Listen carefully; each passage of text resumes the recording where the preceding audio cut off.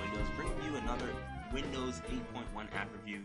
Uh, this is actually just going to be a general full review of Xbox One Smart Glass for Windows 8. I'm running it on Windows 8.1, but think it should work on Windows 8 also. If you can't, uh, Windows 8.1 is a free update. You just go to the store and you can find uh, the update right there if you have everything fully updated on your computer.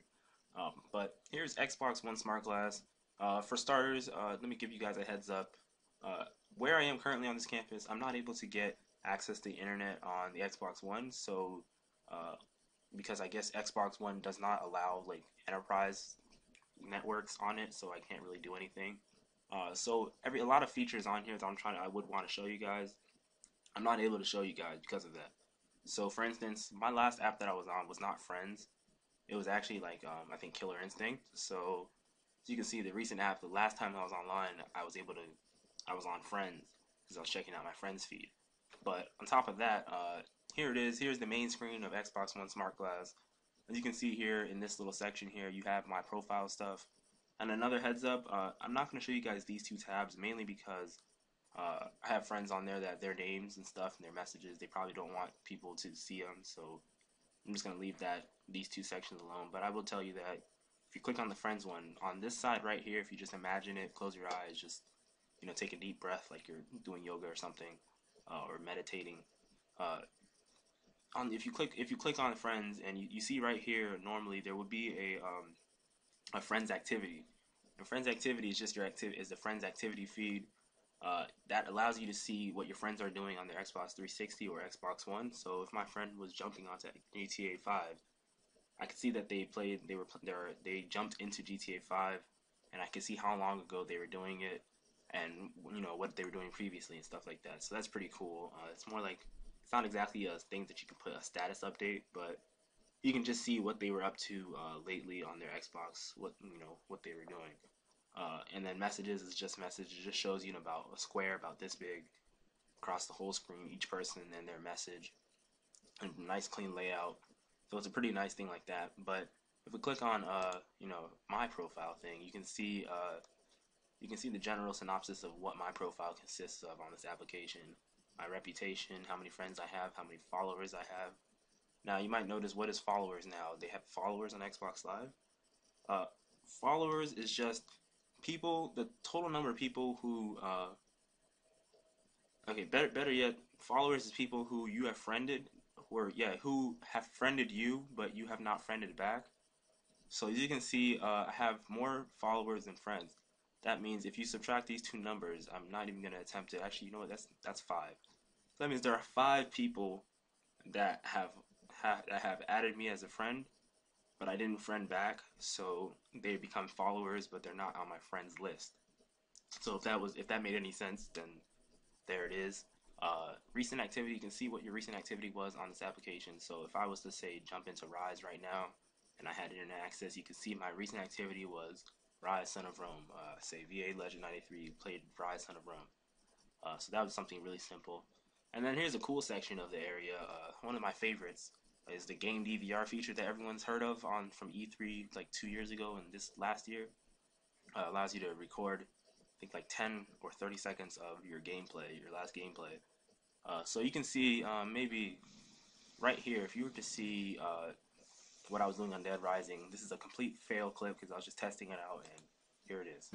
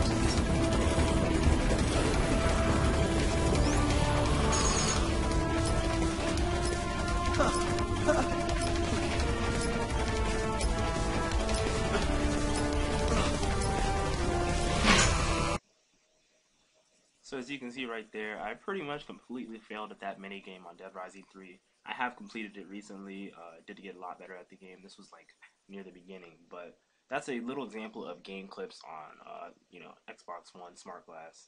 Uh, you can view them on your Xbox One. You can view them on um, whatever Xbox One Smart Glass uh, app you have on whatever device. Actually, there's only one, so why am I saying that? But you can view them on whatever uh, device you have that has Xbox One Smart Glass and you signed into it. Um, here you can see achievements. Uh, again, uh, last when I got this game, I wasn't I, I was here, so I didn't get access to internet like I still don't have. So you can't see any of my achievements, unfortunately. But achievements will be listed here in a nice uh, format, just a nice list grid format. Uh, you might see these three dots here.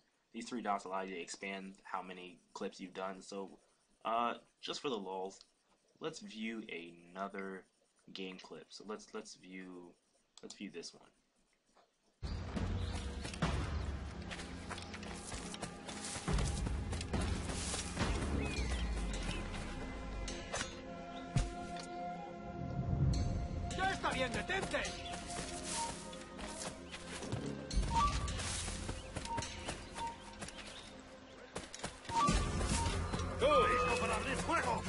¡Tengo un disparo claro! ¡Amigo mío, te tengo encañonado! So as you can see right there, that was some Assassin's Creed 4 Black Flag gameplay. That was actually my very first game that I got for the Xbox One, till recently where I got some others. But that's essentially what you get in your profile view. You get your my game clips, you get your achievements, your recent activity, and your basic information about uh, how many friends you have and your reputation. So back to the main screen. Uh, if we go back to the main screen and go to the left side, uh, you can see here that I have pins here. And what pins are essentially just shortcuts to other applications. So for instance, Skype, and these are all the pins that I have personally that I use the most often, including especially Killer Instinct. That is a great game. Uh, and it's free too. Uh, but these are essentially the game clips that I have. I'm not the game clips, the pins that I have. Uh, you can customize these however you want. So, for instance, if you want to get rid of Killer Instinct, which actually that's a failure failure thing to do. So let me just, if I want to get rid of Kinect Sports Rivals, I can click on it, and then actually the Kinect Sports Rivals preseason. I can click on it and hit unpin, and it'll get rid of it right now. There it is. It's gone. Now there's an empty void space right there. So now if I want to say add Need for Speed Rivals to it, I can hit pin on Need for Speed Rivals, and then now we see Need for Speed Rivals has taken up a spot in the pin list. Also, if you want to view how you pin it, if you're just at the marketplace browsing, I'll show you in a second, but this is essentially how it would look like for games, separate games themselves. So you can see it has the games box art. Um, it also has the unpin button or pin button, depending on what you choose. It's got the help button, which essentially it'll take you whether whether the game has a, a smart glass companion app or not. This one doesn't. It'll still launch what they call a smart glass companion app, but all of this is is just for the help screen, just to see you know if you need help on the game guide or whatever it is. Not game guide, but like the the little booklet they put in front of your Xbox uh, 360 games and all your video games that you get. Uh, that's essentially all it is when you click on help. Um, it's pretty much just like the manual. There you go. And then you can see add-ons. If you want to add buy the add-on, you can actually get on Xbox One. And when you click on get on Xbox One, it doesn't actually allow you to purchase it in this application. It makes you actually uh, go to it on your Xbox Marketplace on your uh, console itself. There you can purchase it. So that's a little different. I kind of wish that you could purchase it directly from this application. Maybe type in your password. That way, uh, every time you do a purchase, you're secure and your child can't actually buy stuff on accident from you. Um, not from you, but you know, for you. Otherwise, you'd be like in debt by like thousands of dollars, especially with those gamer children nowadays. I'm not. I'm only 20 years old, so I can't really say anything about that. Um, uh, achievement progress is here next. Um, you can see the achievements that I've recently gotten. I'm actually surprised that it's actually showing me the achievements here, but it's probably because um, when I got on Xbox Live, I tried going online on this game, so it probably I probably was able to sync my progress to here, so that way I could see my achievements on here. So you can see that. Uh, if we go over to game clips, here's other people's game clips. You can actually access other people's game clips if you click on the game instead of your profile. So if we want to view someone else's game clip, we can view it about now. So let's try, let, let's just look at this top one. Now we'll start just outside. You have two pursuit tech slots available. When you've earned enough speed points, select a slot to buy and equip Pursuit Tech for each of your vehicles.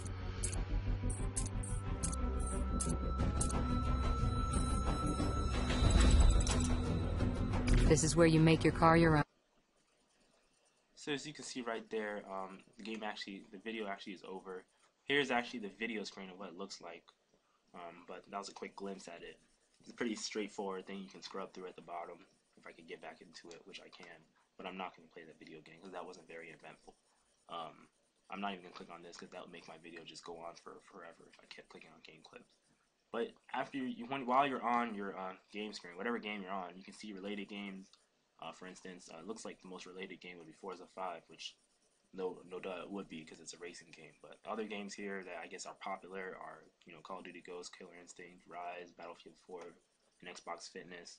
Um, and then here are some images. These images, I will have to tell you that these images, uh, compared to the Xbox 360, uh, where they had the images screen on the um, Xbox Marketplace for various games, these images are actually pretty true to life. The game really does look like this. Not exactly like this one so much, because obviously you get the HUD over here.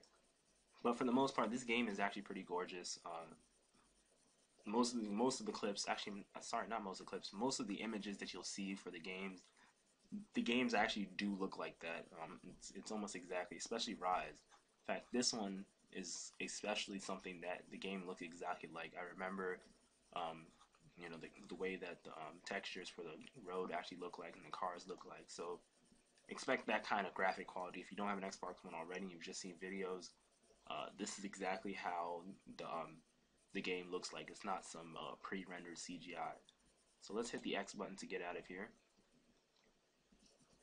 And then if we see related again, we see all that stuff. Um, images, and you can see the publisher information when it came out, what genre it's in, if it has multiplayer, co-op, whatever it is. You get all that information there. So let's go back home and finish up this review. This review has been probably like 15 minutes. I'm not even sure, but last thing that you can get access to is search. Again, if we want to search, we can search for Ryse. Sorry, that was my chapstick. It just dropped. Uh, we can search for Ryse again. I think I, I don't, I'm not sure if I even really did this. I've re-recorded this video like three times already. Uh, but you can see for Ryse here, there's quite a lot of stuff for it. Um, for instance, if we want to click on this um, Ryse Son of Rome, I'm not sure what this is, Season Pass, you can do that, and again, it'll jump you into your Xbox One screen of Ryse Son of Rome, allowing you to purchase the Season Pass.